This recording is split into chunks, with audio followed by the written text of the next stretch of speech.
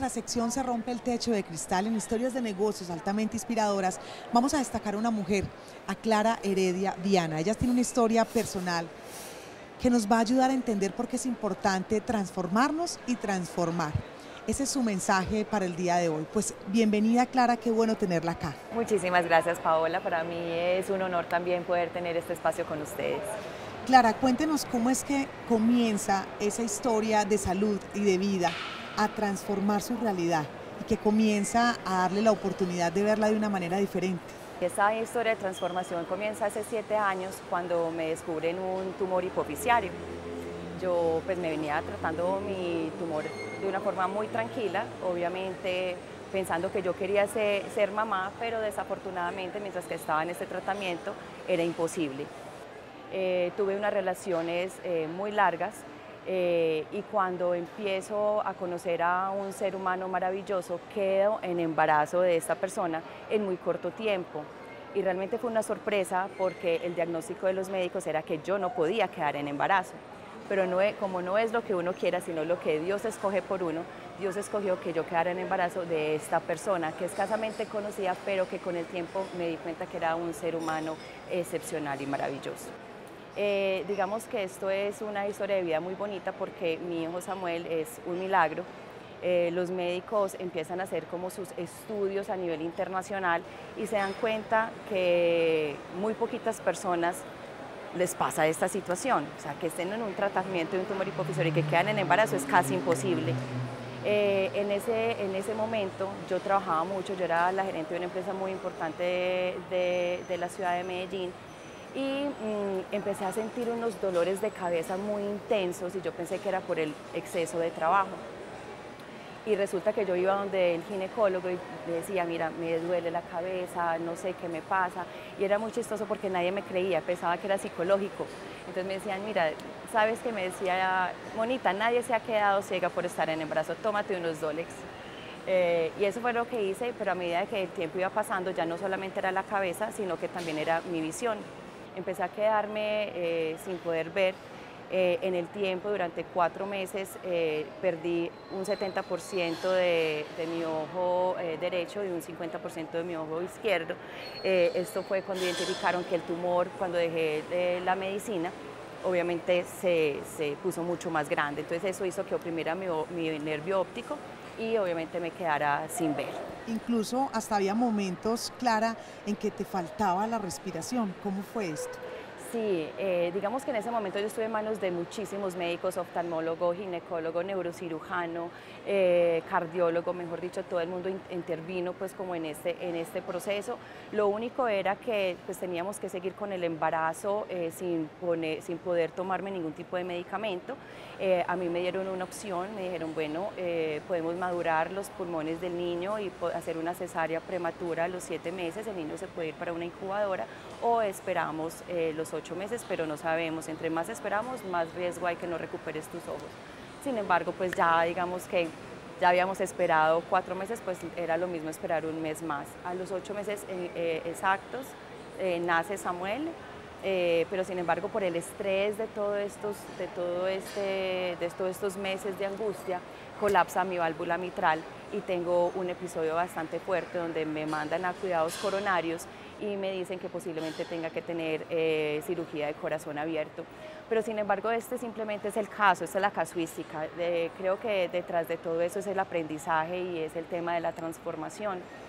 Todo, en la vida tiene un sentido. Eh, durante esos meses me cuestioné, cuestioné a Dios, cuestioné muchas cosas, por qué me estaban pasando eh, estos temas y definitivamente era porque si Dios no hubiera elegido esa persona para mí, posiblemente yo no lo hubiera elegido porque yo no tomaba muy buenas relaciones, no, muy buenas decisiones, digamos, en mi tema de relaciones eh, amorosas. Eh, entonces Dios escogió esa persona para mí. Eh, esta persona me acompañó durante todo este proceso, es un hombre maravilloso, una persona encantadora y realmente ahí entendí el valor de los seres humanos, de darle darle la oportunidad a las personas que se acercaran. Yo eh, pues, soy única hija, siempre he sido muy independiente.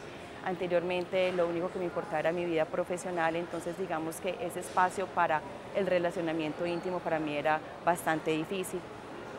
Eh, posteriormente me di cuenta que Dios también me, puso una prueba y es por qué sacrificó mis ojos y por qué sacrificó mi corazón. O sea, por, qué me tuvo que, por qué me tuve que desprender de, mis ojos y mi corazón de forma temporal, porque yo tenía que aprender a ver más allá de lo que quería, de lo que estaba viendo en ese momento y porque tenía que aprender a sentir y a valorar a la gente diferente como lo estaba viviendo en ese momento. Entonces, eh, es muy bonito cuando te das cuenta que muchos años de tu vida estuviste equivocado cuando le diste prioridad a un tema profesional por encima de, tu familia, de tus amigos, de, realmente esas personas que generan y que son valiosas para ti. Entonces ahí obviamente sigo combinando mi vida profesional con mi vida eh, personal, pero definitivamente donde prima los seres humanos, donde prima eh, no ser un líder impositivo para generar los resultados, sino un líder que realmente genera una co-creación con su equipo de trabajo. Esa historia genera una transformación de vida y como ella misma lo expresa, una forma de entender el liderazgo de una manera diferente, porque seguimos viendo una Clara Heredia completamente em, viva, completamente enérgica, llena de retos profesionales y sobre todo dejando huella cómo, en qué momento, digamos, Clara dice, no, es que realmente hay que transformar este liderazgo para que sea un liderazgo mucho más cercano a la gente y que realmente esté desde el ejemplo, más no desde la imposición, generando los resultados. Así es, cuando me pasa todo esto eh, en el tema de mi salud, también eh, la compañía en la que yo trabajaba me da un gran regalo y es un tema de coaching personal. Y ahí entendí eh, cómo me veían mis colaboradores. Y entendí que mis, colaboradores generaban unos resultados basados en el temor que de pronto yo causaba en ellos, porque hacía un seguimiento y muy estricto y un poquito... Casi un perseguimiento. Un perseguimiento, por llamarlo así, sí. Sin embargo, eh, eso me tocó mucho porque a ti te dicen, mira, eso tú, tú, tienes unos temas de personalidad que son innatas y hay un tema de personalidades aprendidas y obviamente yo he tenido unos líderes muy fuertes y aprendí en ese momento ese liderazgo fuerte, pero mi esencia como tal es un liderazgo en que realmente lo humano es, es lo importante. Cuando volví a mi esencia, porque fue simplemente recuperar la esencia, me di cuenta que tenía que desaprender, tenía que aprender a desaprender. Y eso fue lo que hice. Eh, empecé a escuchar más, porque también el tema de quedarme sin ojos me ayudó a escuchar más. Tuve personas maravillosas a mi alrededor eh, que eran los que veían por mí, entonces a mí me tocaba era desarrollar la escucha y obviamente en preocuparme por las personas que estaban al lado mío. Cuando empecé simplemente a cambiar eh, ese día a día, a llegar más a ellos, a decirles, estamos en equipo, yo hago parte de la solución, no vayan y hagan, sino todos hacemos parte de la solución. Seguíamos cumpliendo esos objetivos estratégicos, pero de una forma diferente. Completamente diferente. Y quizás esa es una de las razones por las cuales hoy eh, Clara Heredia es una mujer que rompe ese techo de cristal, que llega a cargos directivos y que comienza a destacarse como un ser integral. Ya ella lo menciona, no solamente profesional, sino también como esa mamá, pero también como ese ser humano que está cercano, que está escuchando y que está siendo mucho más perceptiva. ¿Cómo romper, Clara, ese techo de cristal? Definitivamente uno lo rompe cuando uno le da valor a las personas. Eh, para mí el equipo de trabajo es totalmente fundamental. uno como líder no hace que las compañías eh, lleguen y logren sus objetivos de forma individual. Para mí es entregarles a ellos sus responsabilidades, hacerlos partícipes de un direccionamiento estratégico, que ellos sepan que cada una de sus actividades le generan valor a las compañías. Entonces definitivamente yo siento que cuando uno reconoce y le da valor al ser humano, no solamente en sus títulos, sus títulos profesionales, sino en, su día a día y en su forma personal, la gente reconoce eso y siempre va a dar más. Eh, yo les decía a, mis colaboradores, mira, yo quiero que ustedes sean los más metidos del universo. Me acuerdo y tengo una anécdota, cuando yo estaba eh, como practicante en la Cámara Colomboamericana, yo tengo un líder que yo reconozco mucho, ya falleció y eh, fue el doctor Nicolás de Subiría, que fue el director de la Cámara Clomamericana durante muchísimos años. Y yo llegué de 23 años allá. Y la más metida del universo, yo quería estar en conversaciones de gerentes. Paola, para mí era espectacular cuando eran las juntas directivas y cuando tenían que ir a entrar los tintos, yo era la que quería entrar los tintos. Cuando teníamos que entrar un documento, yo era la que llevaba los documentos. O sea, yo siempre quería escuchar más allá cuáles eran esas conversaciones elaboradas eh, y tan importantes que se tomaban en estas reuniones. Entonces yo creo que siempre ir más allá, escuchar, em, no ser tímido. O sea, el tema de para un emprendedor lo más importante es estar convencido de lo que uno quiere hacer.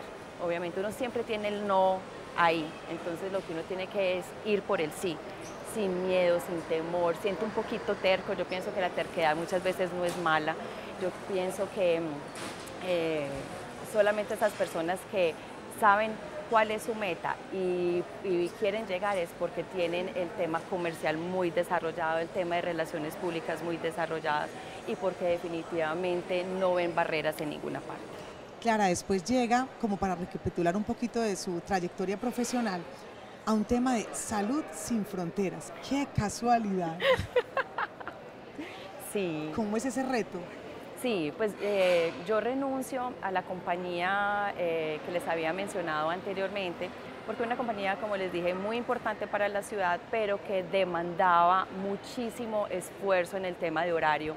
Con la llegada de mi hijo, pues yo quería tener un poquito más de tiempo para él y llego a, este tema de Salud Sin Fronteras, que también fue espectacular, porque le ayudamos a personas eh, alrededor del mundo a que vieran la ciudad de Medellín como una propuesta o una oferta importante para desarrollar como todos sus temas de salud. Y ahí me di cuenta que Medellín tiene unos profesionales en la salud y unas instituciones de la salud que son demostrar a nivel internacional y que cada vez eh, generamos más credibilidad. Es más, tengo cifras del año pasado, nosotros alcanzamos, la ciudad alcanzó a percibir aproximadamente 5.200 pacientes internacionales al año. Eso es una cosa que de verdad es muy importante y la ciudad como tal tiene que entender la dinámica que se genera alrededor de diferentes temas como turismo de, de salud. Ahí genera una transformación, era mostrar esa ciudad todo ese potencial, esa capacidad instalada, toda esa investigación y por qué no ser pioneros en muchísimos temas de salud y hacer un giro casi 180 grados para llegar al sector comercio y estar en uno de los centros comerciales que ha venido teniendo ese crecimiento, ese reenfoque a estar cada vez más cerca, incluso hasta pensando en esos visitantes internacionales, cómo juntar todo ese aprendizaje, ese conocimiento, pero también el ser para llegar a este nuevo reto profesional. Realmente, eh, digamos, fue un poquito complejo cuando lo que se estaba buscando era un poquito más de tiempo para, para mi hijo, cuando me ofrecen eh, esta gran oportunidad, a mí personalmente me encantó porque realmente me he desempeñado, pues digamos, en estos temas durante muchísimos tiempos. Sin embargo, sí sabía que tenía que sacrificar de nuevo el tema de tiempo. Pero creo que las mujeres nos tenemos que quitar un poquito también como eh, una cantidad de paradigmas que nos, que nos inculcan, que si tú no estás todo el tiempo con tus hijos o si no estás en tu casa, entonces no estás desarrollando bien tu rol de mamá, definitivamente no. O sea, yo pienso que uno puede dedicarle esas horas, esas horas como lo estamos dedicando a un centro comercial como esos, pero también yo he involucrado a mi, a mi familia. Mi familia se siente supremamente cómoda y feliz acá. Mi hijo viene y se apropia de los jueguitos, de cine, corre por acá, venimos a comer, el tema de entretenimiento. focus group? Ah, no, pero total, y él es feliz, él se cree el dueño de, de Unicentro y él viene y disfruta de todas las actividades, ¿cierto? Entonces también es, es hacer como una, un, tener un equilibrio entre ese tiempo que tú le inviertes a la familia, con lo que tú obviamente tienes que invertir después a tu trabajo, pero obviamente no se descuida ninguno de los dos, es la calidad Armonía, ¿no? Y también tener la posibilidad de profesionalmente seguir disfrutando esos retos, porque una mamá feliz también va a ser mucho más feliz su familia. Totalmente, es que yo, yo pienso que el, legado que yo le dejo a Samuel es que él me ve todos los días madrugando feliz a venir a trabajar y eso es un tema de, de, coherencia, es un tema de que él dice todos los días me tengo que levantar a, hacer lo que a mí me gusta, qué rico que, que yo poder más adelante eh, ser feliz profesionalmente porque también me voy a levantar como mi mamá que se levanta todos los días a trabajar de una forma feliz, ¿cierto? Nosotros cuando hablamos de niño, el tema de, de mi trabajo no le decimos que es por el tema de recurso financiero ni mucho menos, sino por el tema de pasión, por el tema del el aprendizaje, por el tema del relacionamiento. O sea, le, incorporamos eh, otros temas muy importantes que no es solamente los ingresos por los que supuestamente uno trabaja, que no es así. Y como la palabra que podría definir a Clara Heredia es transformación, llega este nuevo reto a un centro comercial que está cumpliendo 25 años y que se transforma. Así es. Cuéntanos eso, Clara.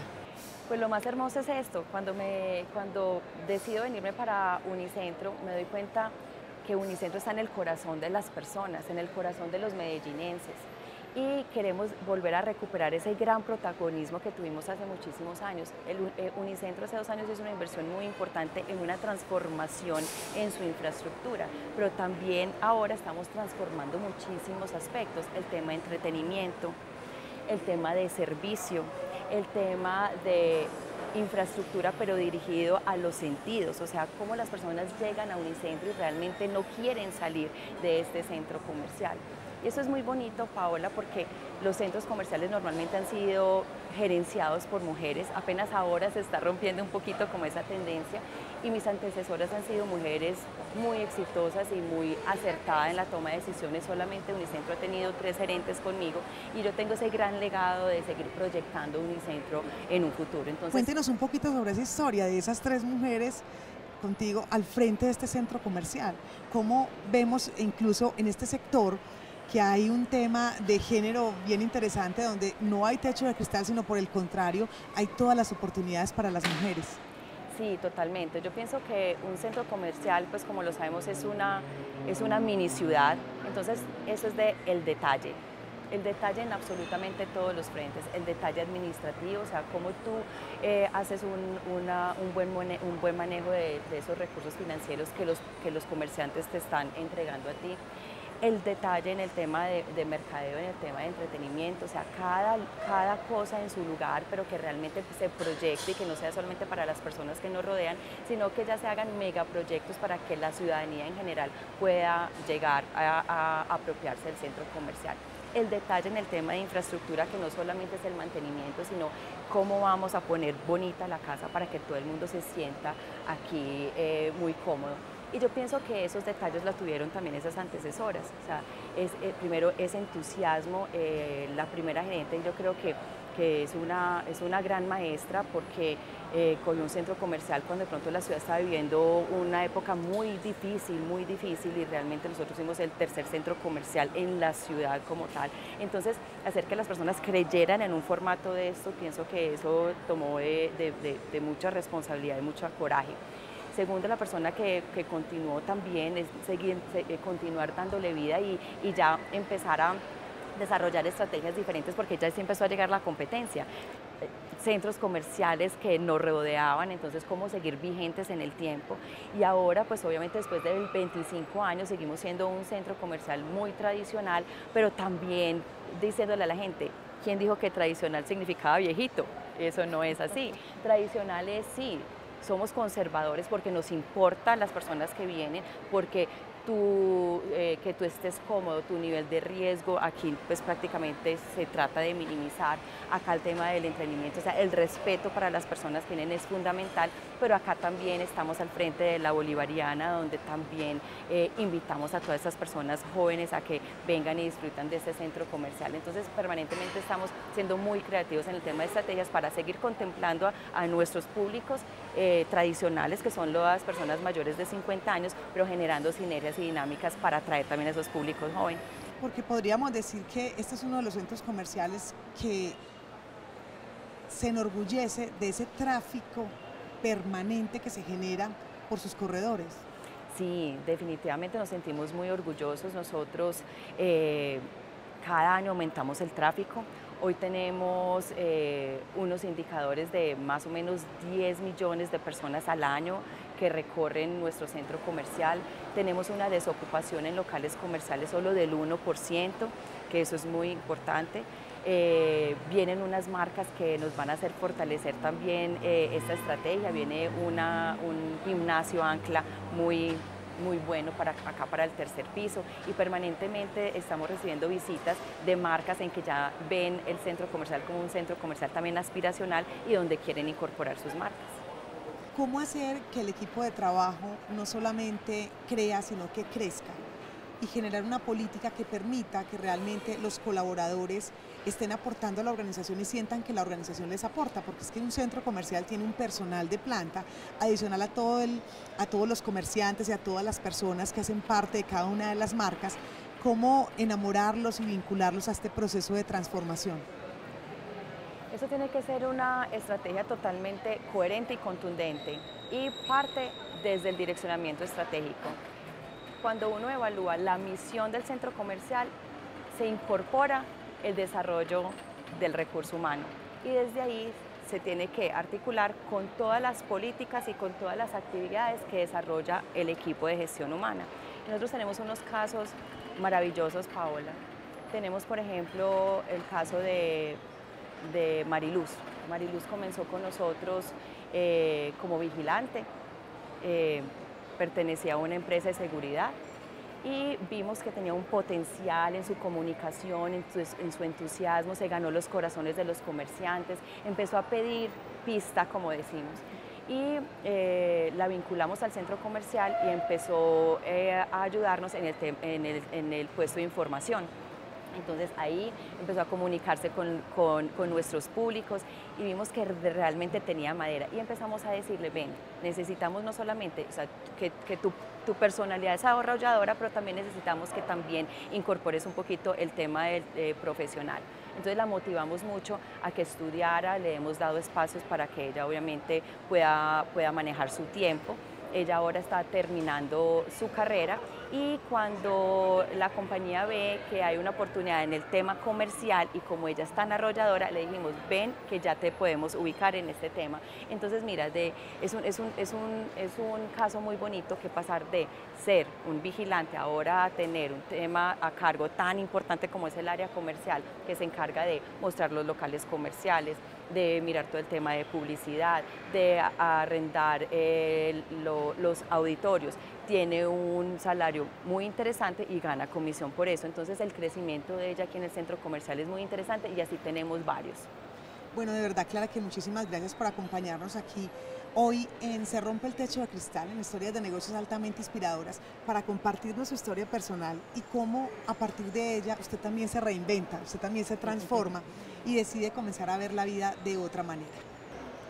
Uno se transforma cuando decide ser, cuando decide sentir, cuando decide definitivamente darse cuenta que uno no está en la vida solo, cuando uno reconoce en los demás esos valores, porque juntos somos capaces de alcanzar todos los objetivos y todas las metas que nos ponemos, tanto en el ámbito personal como en el ámbito profesional.